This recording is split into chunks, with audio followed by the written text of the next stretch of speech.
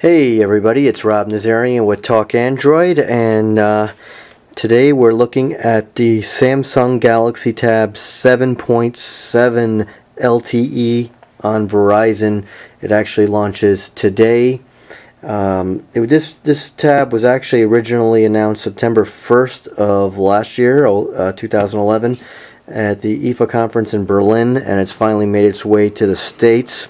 It is the world's thinnest LTE tablet um, at 7.9 millimeters thick. It'd be nice if they could have made it 7.7 millimeters, but that didn't work out.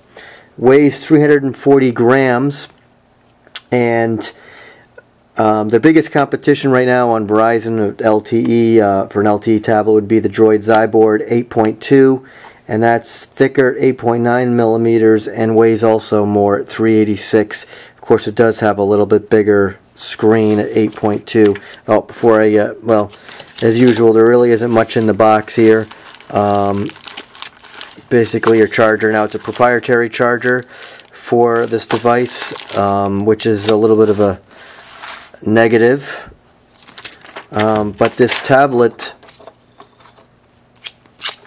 does look nice.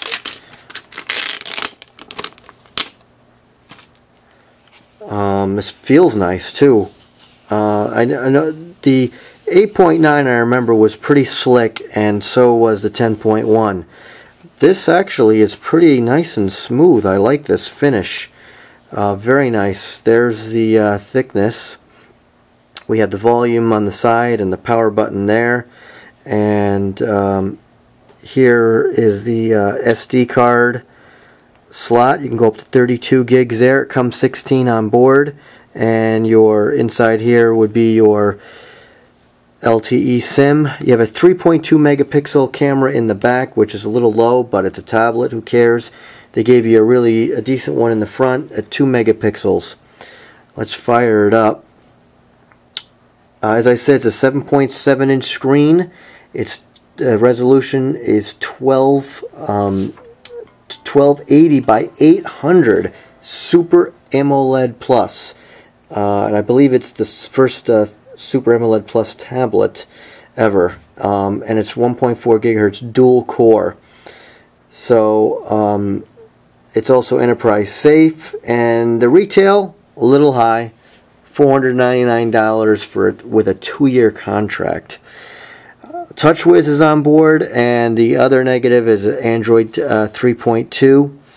Uh, let's verify that. Well, you can tell anyways. Now, part of the TouchWiz stuff here is when you go into the um, notifications, you can quickly uh, go into some settings here, which is nice. Um, so you can change the display easily, uh, do whatever you want with it, um, and you can go right into the settings quick and we'll go into about device and it is Android 3.2 so another nice feature that comes with TouchWiz is the ability to take a screenshot basically right there. And there it is.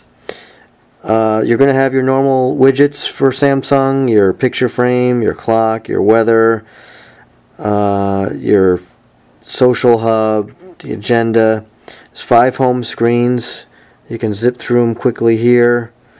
Um, there's also this quick uh, launcher here where you can quickly go into uh, some some apps right there. That's also nice, and you can edit it as well.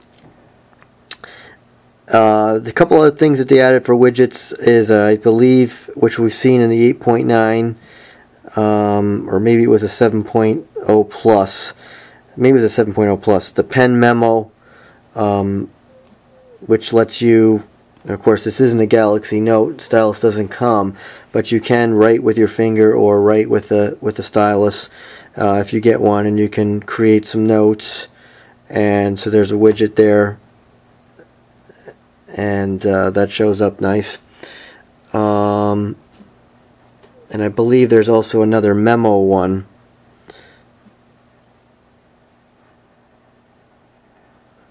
uh, basically a straight memo right there.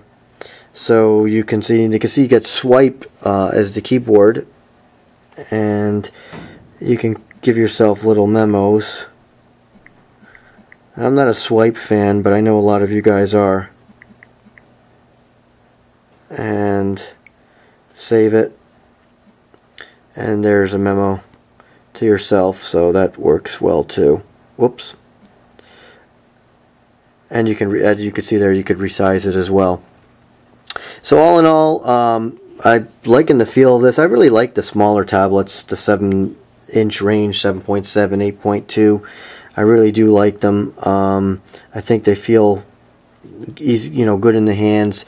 And like I said, this this one here might be Samsung's best uh, tablet to date as far as the overall feel and quality. I like this a lot. The screen is uh, is gorgeous at uh, 1280 by 800 Super AMOLED Plus. That's gorgeous. Um, so I'm looking forward to spend some time with it. I will do a more in-depth full review uh, maybe in about a week or so after I spend some time with it.